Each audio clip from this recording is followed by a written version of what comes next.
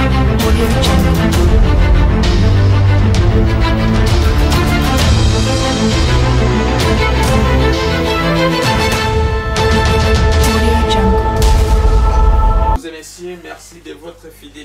Congo Live. Vous nous suivez, nous sommes le mardi 28 novembre 2023. Espoir, bonjour et bienvenue. Bonjour, euh, messieurs les journalistes, bonjour à nos téléspectateurs, bonjour à tous ceux-là qui se battent pour que la RDC puisse recouvrer sa souveraineté nationale et internationale.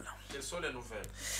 Ah, comme vous le savez, la ville de Goma, la situation est relativement calme, sauf euh, il y a une situation à- alarmante euh, que j'ai suivi hier être communiquée par l'MSF sur euh, euh, les cas de blessés par balle aux alentours de Goma qui est devenu vraiment une situation invivable.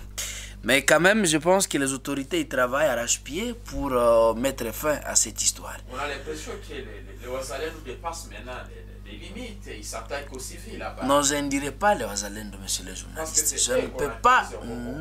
En fait, Il y a des hommes en armes qui circulent actuellement à Goma, autour de Goma. On a suivi des cas. La société civile a, a dénoncé plusieurs cas de tuerie. Euh, on a accusé les Ouazalais, surtout dans les Rutshuru, disons dans les euh, C'est Ouazalais d'être à la base. En fait, moi, je ne peux pas confirmer que ce sont des Wazalendo, puisque les Wazalendo sont identifiés. On connaît à quel euh, ce- ce- ces groupes, euh, ces Mouzalendo appartiennent à tel ou tel autre groupe. Alors, c'est difficile pour moi de confirmer que ce sont des Wazalendo dans le sens où, comme vous le savez, les Wazalendo c'est devenu une épine dans les pieds de M. Paul Kagame et du coup, Kagame peut utiliser ces porteurs d'armes obscurs dans les buts uniquement que de salir le nom de Wazalendo. Moi, je ne vois pas un Mouzalendo qui peut prendre son arme et tirer uniquement sur, euh, sur un civil. Non, ça doit être un faux Mouzalendo fabriqué par les Rwandais dans les buts uniquement que de salir le nom euh, de Wazalendo. Si on peut aller loin, je salue le courage de nos FRDC euh, sur l'opération effectuée hier dans les Rutshuru, notamment à Bambo, où ils ont, ils ont euh, fait des frappes euh, bien fixées et bien calculées contre les positions de ces petits Rwandais qui se regroupaient pour attaquer encore la RDC. Comme vous le savez, hier, il y a eu l'entrée massive des militaires rwandais et ougandais en passant par notre parc de Virunga et en passant par Bunagana. Euh, comme euh, l'armée ne dorme plus, personne ne croise encore les bras, euh, nous sommes sûrs et certains que des opérations de contenir ces gens sont en cours et je suis sûr et certain qu'ils seront contenus.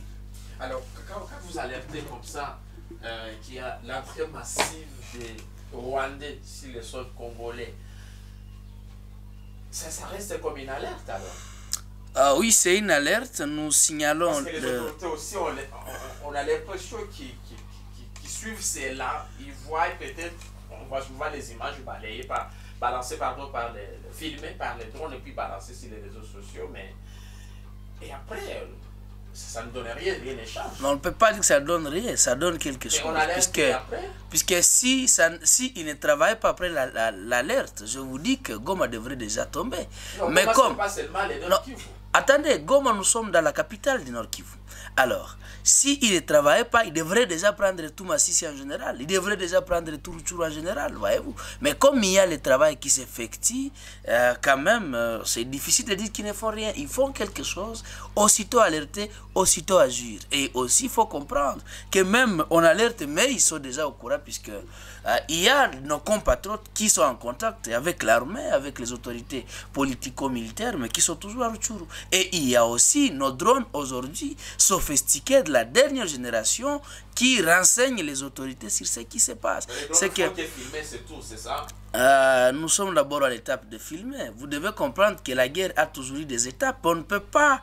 euh, les personnes qui ont monté la guerre pendant 10 ans avec l'appui de la petite France, la petite Amérique, avec l'appui des Allemands, comme vous le savez, les Allemands sont les premiers investisseurs euh, à- au Rwanda euh, quand on parle des ressources naturelles. Voyez-vous, c'est eux qui les exploitent.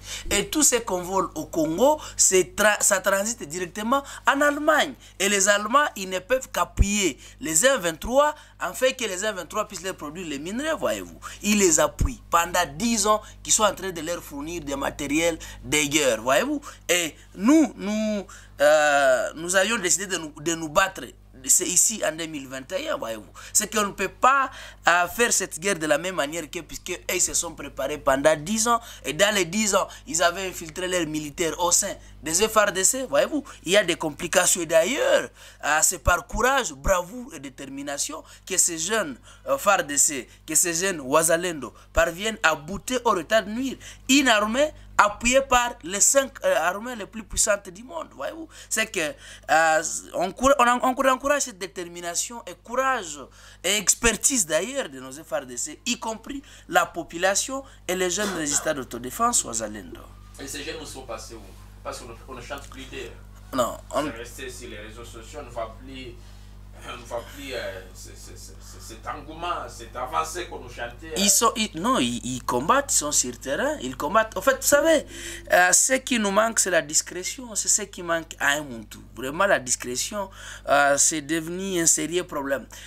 On ne chante plus, c'est pas comme c'était au début, oui, mais et d'ailleurs, il faut vous dire qu'il y a eu l'amélioration de la manière de combattre de nos jeunes d'autodéfense aux ils combattent où? Parce qu'on ne voit plus, même dans, dans les zones entre guillemets qu'on avait annoncé avoir prises, mais c'est sur l'ennemi qui, qui, qui est là. hein. Non, à Bambo, c'est vous qui êtes parti combattre à Bambo hier. Ce sont les jeunes d'autodéfense. Mais qui Ils est ont, à Bambo? ils ont combattu. Qui Non, non, non, c'est pas l'ennemi qui contrôle tout Bambo. Non, non. Ces petits Rwandais contrôlent la, la moitié de Bambo. C'est pas tout Bambo en général. Et hier d'ailleurs, euh, les jeunes les ont encore repoussés. C'est qu'ils sont en train de reculer en arrière petit à petit. Attention, cette guerre, nous nous battons contre plus de 5 pays au monde. Et, et, et, et- ces 5 pays, c'est soutenu par les armées les plus sophistiquées au monde. Voyez-vous, nous on utilise que nos lances, nos flèches et les armes les ravissent. Et nous avons quand même notre Sokoi qui fait, qui fait sa mission comme il fallait le faire. C'est que moi je pense qu'aujourd'hui, nous ne sommes pas au stade de désespérer, nous sommes au stade de féliciter d'abord ces jeunes du fait qu'ils ont amélioré leur technique de combat et aujourd'hui se battent comme des grands, comme des grands militaires, voyez-vous, comme des personnes formées par, euh, bon, je ne sais même pas quelle école il faut dire qu'ils ils- ils ont été formés. Ils se battent d'une manière professionnelle, mais pas professionnelle déjà Ndjike. Ils se battent, mais on, veut voir ces résultats. Parce que les grandes cités, les, les grandes zones, les, s'il faut le dire comme ça, sont toujours contrôlées par. Non, on ne peut pas dire les grandes zones. À part, excusez, monsieur le journaliste, il faut qu'on précise le- le- le- la population. On ne peut pas dire que des grandes zones citées sont, sont sous contrôle de ces petits Rwandais. Non. Et à part, eh, eh, excusez, non, c'est pas que ce soit les massifs. Attendez, attendez. Il y a les petits, au, au niveau du petit massif, c'est là où ils sont. Et ils sont nés, on ne fils que aux alentours, au- au- au- à, à Kichanga. C'est là où ils sont. Ils sont au, à Ruchuru. À Ruchuru centre, eh, effectivement. Ils sont à Kiwanja, effectivement. Ils sont à Bunagana. Comment me dire que non? Les, zones stratégiques. Excusez, non, c'est pas seulement ça nos zones stratégiques. Quelles Et, sont les zones stratégiques des massifs et toujours c'est là qui ne sont pas occupées par les M23? Excusez. Les zones stratégiques de Massissi. Mais il y en a assez. il y a- Attendez, attendez. Nous n'allons pas partir dans le sens de délimiter là où ces gens ne sont pas. On risque encore de leur donner là où ils vont attaquer. Nous nous sommes dit, nous devons apprendre de la discrétion. C'est que ça doit être aussi les choses qui doivent nous, nous, nous caractériser. Ces petits Rwandais nous suivent plus que même certains Congolais. Et ces petits Rwandais, lorsque nous sommes sur euh, le média, ces petits Rwandais cherchent à savoir là où ils n'ont pas encore mis les pieds. Et comme vous le savez, avec leur comportement, des débordements aujourd'hui mis en déroute, puisque nous sommes déjà euh, adaptés à leur système de combat, ils cherchent à savoir là où ils n'ont pas encore foulé leur nez. Et moi, je ne peux que préciser, même là où ils sont, même là où ils sont, Ils sont où? Même là, je, je le dis bien, même là où ils sont encore, ils vont partir. Les Wazalendo, vous chantez les Wazalendo. On a vu eux-mêmes, ils se sont filmés. Oh, nous récupérons Kichanga, nous récupérons je ne sais pas quel rythme. L'ennemi est revenu. Pourquoi? Où sont partis? Il faut, il faut, il faut d'abord comprendre. L'ennemi n'a pas pris ces zones euh, dans les mains de Wazalendo. Ça, il faut qu'on le précise. L'ennemi n'a pas pris ces zones dans les mains de Wazalendo. Euh, Il faut, il faut, il faut qu'on le précise. Non, c'est c'est les phares de ceux qui étaient déjà là. Il faut qu'on le précise. Alors, il faut qu'on il faut, il faut, et, être et, et il faut, et il faut aussi comprendre. c'est- c'est- ce sont des militaires de l'EAC qui appuient euh, les, les, les, les M23. Ça, vous devez le savoir. Ça? Vous devez le savoir. Ce sont les militaires de l'EAC qui étaient. Les à-. Moi, je ne confirme pas, mais j'ai dit que ce sont des militaires de l'EAC. Point barre. C'est aux gens de savoir. Ici, il y avait les Burundais, ici, il y avait les, Ougandais, ici. Dans, dans les massifs. Et dans les retours. Le, le jour, il n'y a pas de massifs. On- on- disons, les, les, Burundais ne sont pas dans les massifs. On parle de, on parle de la zone des Et, massifs. et- et- et dans les retours, qui sont? On parle de Kichanga. Non, on parle de toutes les zones. On parle de toutes les zones. On parle de Massissi, on parle de Rutshuru. Quand nos amis avançaient, nos jeunes d'autodéfense Wazalendo, avançaient dans les Massissi, euh, dans, les Rutshuru, qui, qui- qui, qui les attaquait? C'est pas les AC. C'est les AC qui les attaquaient. C'est qu'il y a les amis invités par le gouvernement, mais qui complotent contre le gouvernement. Et heureusement qu'ils vont partir le 8 décembre. C'est pourquoi je vous dis, nous sommes dans la guerre d'Igir. Et chaque guerre a toujours eu ses méthodes et techniques. Attendez, je sais, vous, vous, vous descendez souvent sur le terrain. Attendez dans les jours, d'ici le 8 décembre. Ici le 8 décembre. Nous sommes aujourd'hui le 28. Attendez, vous allez voir ce que, ce que, euh, les jeunes d'autodéfense sont en mesure de faire. Il faut faire quoi? Attendez, vous allez voir. Il faut faire quoi Dites-nous? Attendez, vous allez voir. Nous ne sommes pas là pour mettre en exergue à nos plans ou bien nos techniques que nous allons utiliser bientôt là. Attendez, vous allez voir comment est-ce que ces petits sont en train de fuir comme des mineurs. Ils vont maintenant multiplier leur manière de fuir. Ils vont accélérer la course pour fuir. Parce qu'il y a quoi? Nous sommes en train de compter leurs jours sur le bout des doigts. On calcule sur le- sous le bout des doigts. Et bientôt là, il y aura une nouvelle chanson que nous allons chanter. Je l'ai toujours dit que les gens se préparent. Préparez vos matos pour danser la nouvelle chanson. Et ça sera la victoire que nous allons chanter. Cette victoire, je pense que vous l'annoncez chaque jour, mais elle peine à venir. Oui, c'est tout à fait normal. Attendez, quand on cherche la victoire, c'est pas comme celui qui cherche l'échec. Celui qui cherche l'échec peut chercher l'échec aujourd'hui et le trouver demain. Mais celui qui cherche la victoire, et en plus, attention, nous sommes dans une guerre nous imposée. Et celui qui vous impose la guerre, il prépare cette guerre, voyez-vous. C'est que quand on vous impose la guerre, c'est une guerre de surprise. Alors, quand vous cherchez euh, la victoire euh, dans pareille situation, vous devez peiner, messieurs les journalistes. Et c'est comme ça que nous sommes en train de peiner, de siouer pour y arriver. Mais nous allons y arriver, puisque nous nous battons pour protéger nos biens. Cette guerre a beaucoup d'allure. Non seulement une guerre d'occupation, mais aussi une guerre économique. Vous savez que lorsque chez nous on cherche à se, à soulever, les Rwandais nous créent la guerre uniquement que pour nous imposer, euh, que pour nous empêcher à se développer. Et c'est que nous menons la guerre sur beaucoup de fronts. Et c'est ce qui cause que beaucoup de gens ne parviennent même pas à comprendre là où la guerre arrive. Mais nous faisons cette guerre sur tous les plans et et ils nous avaient beaucoup ils nous avaient piégé aussi sur beaucoup de plans. C'est que nous sommes en train de déminer leurs pièges petit à petit, petit à petit. Aujourd'hui, les Rwandais commencent à, publier qu'ils ont aussi le coltan chez eux. Ils commencent à publier qu'ils ont des mines aussi chez eux.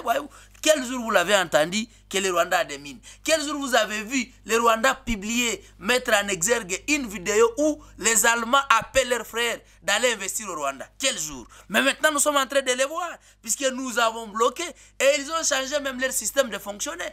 Il y a les gens qui meurent chez eux aujourd'hui au Rwanda, puisque nous avions déminé ce qui nous avait tendu comme piège quand nous produisons et ils arrivent pour voler. Voyez-vous, nous c'est que c'est une guerre qui a beaucoup d'allure et c'est une guerre qui demande la concentration de tout un peuple, de toute la population pour y arriver. C'est pas moindre. Je vous dis que cette guerre a, a coûté à la République, mais la RDC ne recule pas. Nous, nous s'il faut faire tout ce qu'il faut pour gagner cette bataille, nous allons le faire.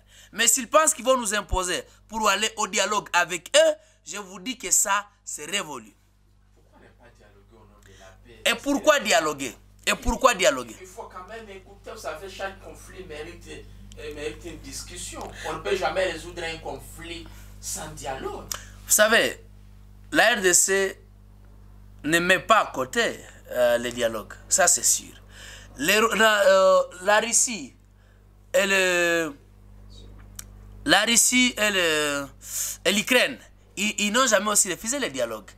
Euh, L'Israël et le Hamas n'ont jamais refusé le dialogue. Mais nous ne sommes pas dans le même contexte que ces gens. Nous, nous sommes dans le contexte où la RDC a dialogué avec les Rwandais maintes fois. Nous avions dialogué avec eux à travers CNDP, mais nous le répétons chaque jour. Nous avions dialogué avec eux à travers SNDP, 123A. Aujourd'hui, il faut encore dialoguer avec eux. Et s'il faut dialoguer, nous allons dialoguer sur quelle matière? Mais la question aussi, Nous ne pouvons pas dialoguer sur la matière nous imposée. C'est qu'ils viennent avec leur sujet et dire non, nous allons dialoguer sur ça. Mais ça, c'est quel dialogue? Mais, S'il fallait dialoguer, c'est la RDC qui devrait venir avec la matière sur laquelle la RDC devrait dialoguer. Mais ce n'est pas la matière nous imposée par la France, pas la matière nous imposée par le Rwanda, pas la matière nous imposée par les États-Unis, l'Allemagne et l'Italie. C'est pas ça. sera obligé parce que maintenant là, c'est l'ennemi L'ennemi ne gagne pas le terrain. L'ennemi est fixé. L'ennemi ne gagne pas le Parce terrain. l'ennemi- les ne gagne pas le terrain. L'ennemi les est bloqué. L'ennemi pensait les Allemands, la, la petite Allemagne, la petite France, la petite Amérique, pensait que les Rwandais, ils vont encore avancer comme ils avançaient dans l'ancienne époque. Aujourd'hui, ils sont bloqués. On ne refuse pas. Il est, il est, il est sur notre sol. On ne refuse pas. Mais Mouinouka, au nom de ces déplacés-là que vous voyez souffrir, Hmm. est-ce qu'il n'y a pas moyen pour que ces gens solution? Exactement. C'est ça les soucis. C'est ça. C'est ça. les. C'est ça le souci de la RDC. Puisque nous, nous sommes des Bantous. Et les Bantous, un Muntu ne se sent fort qu'à côté de son frère Muntu. Un Muntu, lorsque son voisin souffre, il souffre aussi. L'altruisme de, de, de, de, de Bantous, voyez-vous. C'est que nous, ce qui cause que ce que nous combattons, c'est puisqu'il y a nos jeunes frères aujourd'hui qui meurent de la famille dans des cas déplacés. Si le- nos FRDC, ils acceptent de se sacrifier, c'est puisqu'il y a certains de nos compatriotes aujourd'hui qui ont fui leur village. Et c'est pourquoi nous nous battons. Voyez-vous C'est que nous sommes en train de tout faire pour que ces gens puissent rentrer chez eux une fois pour toutes. On vous savez, les Rwandais sont des insatisfaits du monde. Même si on donnait aux Rwandais ça, ils vont encore réclamer encore ça. Voyez-vous C'est pourquoi nous, nous voulons qu'il y ait une solution une fois pour toutes. Mais ce n'est pas la- solution qui nous sera imposée comme solution. C'est comme ça que les gens viennent avec le dialogue. On ne peut plus dialoguer au stade actuel. Il y a les moments, s'il faut dialoguer, on dialoguera. Mais pas les moments actuels. Et ça, les gens doivent le comprendre. Nous demandons toujours à la population de serrer à leur ceinture. Ce que nous avions eu comme problème, puisque Dieu nous a doté à une terre arable, Dieu nous a doté un sous-sol riche.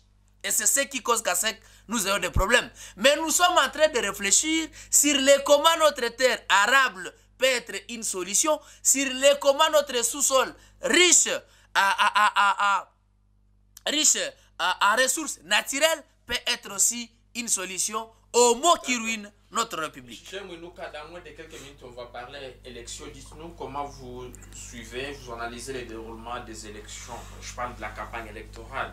Est-ce que croyez-vous vraiment aux élections le 20 décembre?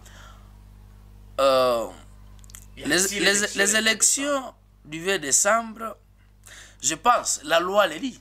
Il faut qu'il y ait élection. toi, Il faut, il faut qu'il y ait, Il y aura vraiment il faut élection. qu'il y ait, il faut qu'il y ait élection puisque la loi, les la loi le dit et il y a un calendrier électoral. Et pour moi, Et étant, tel que vous, vous êtes un analyste, n'est-ce pas? Et tel que vous vous analysez, tel que vous voyez les choses au Congo, maintenant là, est-ce qu'il y aura élection le 20 décembre? Ça, c'est euh, oui, jusque-là, il n'y a pas de signe qui montre qu'il n'y aura pas Il n'y élection. aura pas élection. Il n'y a, non, il n'y a pas de signe qui nous, on va montre. recevoir un ami de l'IDPS ici. Exactement, c'est. En fait, Mais moi, élection. vous savez, moi je suis euh, apolitique, mais j'ai les devoirs Mais civiques. vous, donc, vous ne croyez pas aux élections le 20 Excusez, excusez, je ne le dis pas. Euh, je suis, je suis apolitique, quoique je dois m'intéresser de la politique de mon pays. La loi, la loi de la République démocratique du Congo et qui n'est pas n'importe quelle loi. La loi des lois, c'est que la Constitution précise mieux qu'il faut qu'il y ait élection en décembre C'est pas la Constitution, 2023. c'est la- c'est le Et il y, a, il y a un calendrier électoral de la CENI qui précise qu'il faut qu'il y ait élection. Alors, moi, moi, moi, personnellement, je vois tous les candidats, ils sont sur le terrain en train de mener euh, leur campagne. Nous avons, nous avons, s'il y aurait quelques soucis, puisque moi-même, je suis en train d'écrire une lettre que je dois adresser à M. Kadima. Pour demander le report. Et non, pas les reports. Et d'ailleurs, moi, je, je les souhaiterais si tout Oui, ce bon, que les s'il vous Congo, si tout ce que les ma- Congo plaît. d'investir, attendez, tout ce que les Congo venaient d'investir pour, pour élire Félix Antoine Tshisekedi, mais il fallait même l'investir dans la guerre, que nous puissions mener cette guerre une fois pour toutes, que d'aller au dialogue. La question, Moïnoka, vous êtes à Goma, vous Ouais. suivez ce qui se passe au pays, vous suivez les campagnes Ouais. de tous ces candidats-là, et tous ceux que vous connaissez comme des filles, je sais pas quoi. À l'heure actuelle, où nous sommes le 28 novembre, est-ce que pensez-vous qu'il y aura élection le 20 décembre? Je le crois. Non, écoute, vous contredisez. non, vous attendez. contredisez. Attendez, ça me fait rire un peu. Les signaux que vous voyez, Non, je n'ai pas. Non, vous, m'avez mal compris. c'est- je vous ai dit Non, que c'est exactement. J'ai dit, je peux ré- répéter ce que j'ai dit. Il n'y a même pas de signaux qui montrent qu'il n'y aura pas élection. mais c'est ce que vous aviez dit. Oui, c'est ce que j'ai dit. Il n'y a pas de vous signaux avez qui dit montrent. qu'il y a des signaux qui montrent qu'il y aura Non, pas non, d'élection. vous m'avez mal entendu. J'ai dit, il n'y a même pas de signaux. Donc de signaux. que vous a, il Je suis sûr, 2 décembre. euh, je, je- je crois qu'il y aura élection vu ce qui nous est présenté sur le terrain. Est-ce qu'il et s'il n'y a pas élection le 20 décembre, S'il n'y a pas élection le 20 décembre, en fait, moi je suis légaliste, je respecte la Constitution. La question, s'il nous allons suivre que ce, aux nous allons suivre ce que dit la Constitution. la Constitution dit Au quoi? cas où euh, l'élection n'est pas euh, organisée, mais la loi n'est pas miouette. Il y a ce que dit la loi. Il y a ce que dit la loi. Attends, En fait, Mouinouka, est-ce que pensez-vous qu'il y a un probable dialogue On Ah. raconte les élections pour en fait, six mois, vu, cinq mois, ça dépend. vu ce qui est... En fait, vous savez, nous sommes... Vous, vous êtes nous- pour a- a- attendez, attendez. Vous, vous êtes pour Jusque les là, jusque là, aucune hypothèse n'est à écarter. Toutes les hypothèses sont à examiner. Mais au stade actuel, s'il y aurait quelque euh, blocage, moi je pense qu'on est congolais et nous allons réfléchir sur l'intérêt de la RDC, qui est de réfléchir sur comment mettre le feu sur la République. C'est que nous allons, nous devons préserver les acquis de la En démocratie. attendant, il faudra savoir qu'est-ce que la Constitution dit. Oui. Exactement, on dit. Soit on va mettre si, le président euh, Tshisekedi à l'extérieur. Non, la loi ne Ah, le dit pas. Qu'est-ce que la loi dit? La loi dit si le, le chef de l'État reste en fonction jusqu'à l'installation effective ça, ça, du nouveau président élu. C'est ce que dit la Ça, une Constitution. autre hypothèse. Alors attendez, Il faut interroger attendez, la loi. euh, attendez. Il faut interroger Lorsque, la loi. attendez, il- ce n'est pas, S'il vous plaît, oui. Moïnouka, nous sommes à la fin de cet entretien. Merci d'avoir été là. On se retrouve demain pour un nouveau numéro. Votre numéro de téléphone. Nous sommes sur le plus de 143 9 92 66 42 08. Euh, Merci, mesdames et messieurs. Moïnouka, merci et à demain. Bye bye.